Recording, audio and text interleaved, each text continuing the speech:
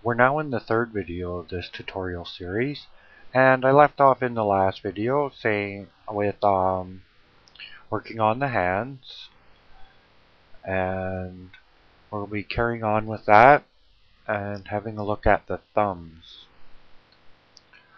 First off, we'll look at what I've done in between videos and as I said I moved all of the joints in line with the joints of the mesh and there's still a little need to do a little bit of rotating on the pinky and the index finger to get the arm, the rigging to match up with the mesh. But first off, we're going to deal with this thumb because it's still way out of line. So like before, we'll work on both sides of the model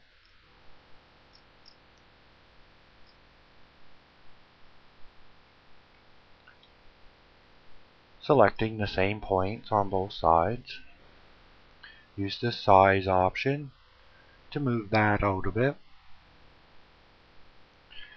And the grab option, limiting to the y-axis so it can only move up and down. And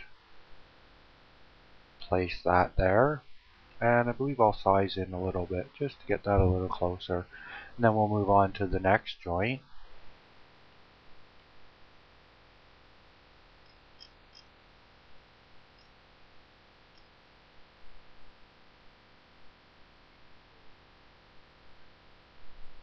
And grab that one along Y.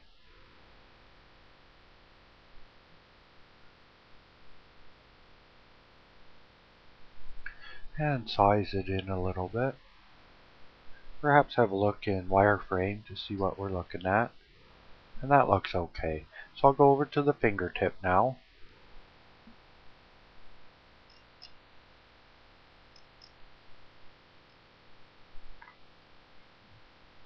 And size that one in until it's more or less in the tip.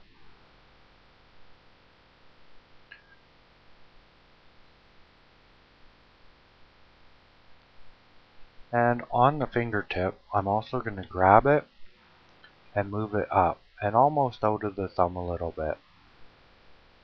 And the reason for this is I would like a nice curvature to this thumb. And this curvature is particular to the thumb when looking from the top view. And the reason for that is because it was rotated by 90 degrees. In comparison to all these other fingers, the thumb is on a right angle to them, more or less. But for my model, it's on a right angle to them. From the front view, the same curvature will apply to the fingers.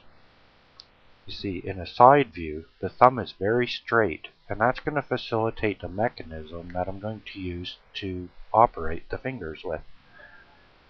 And the same requirement for the fingers in the top view. I need these very straight and very in line with each other, not with the grid or anything else, just with each of the armatures and sections of this rigging. Anyways, we're now going to lower the knuckles into the hand a little bit. So I'm going to use box select to pick things up a little quicker. Select those, this, and that. And deselect this one because I forgot about it. Go over to the other hand. Zoom in.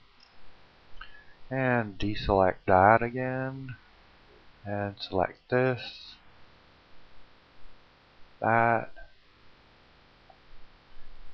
And these, look at it from a front view. Zoom in so we can see a little better.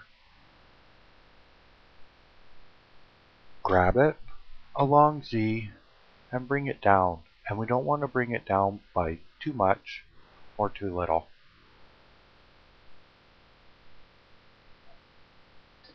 And I think that should be good. But of course, as all things, that can be adjusted a bit.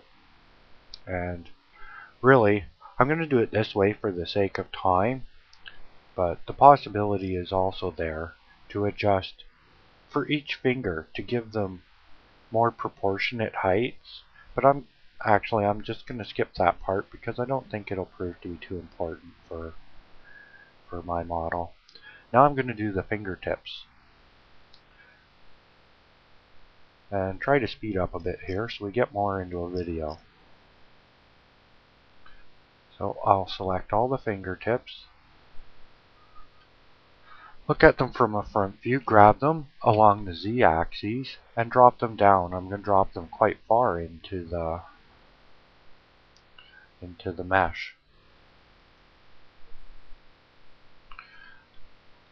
Go back into solid mode with x-ray so we can see that. And what that's done is started the curvature. And it may be a little bit pronounced, but that's okay.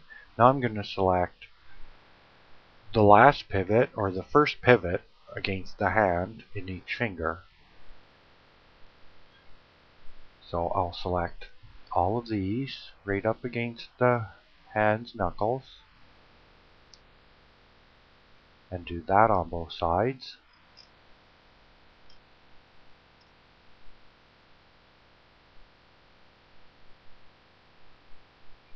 return to a front view, grab them along Z, and dip those a little bit.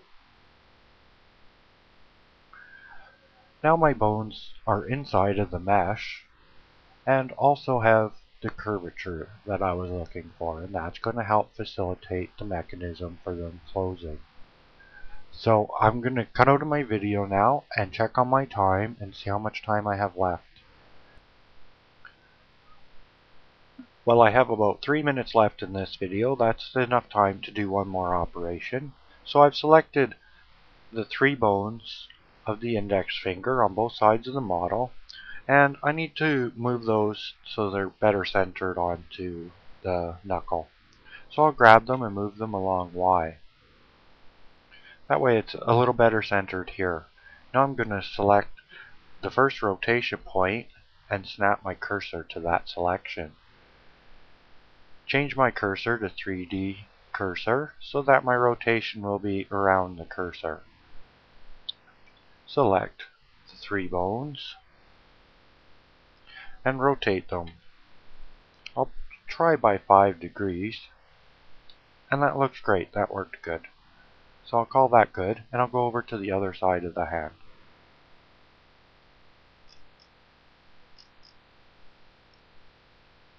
Again, I'll do the same thing. Snap my cursor to selection. Select the three bones and rotate them by 5 degrees. And that's about all I can do in this video. I'm going to repeat this a similar process or the same process for the pinky to line it up a little better. And I'll come back in the next video and we'll start putting some mechanisms to get these fingers moving. So until then, happy modeling.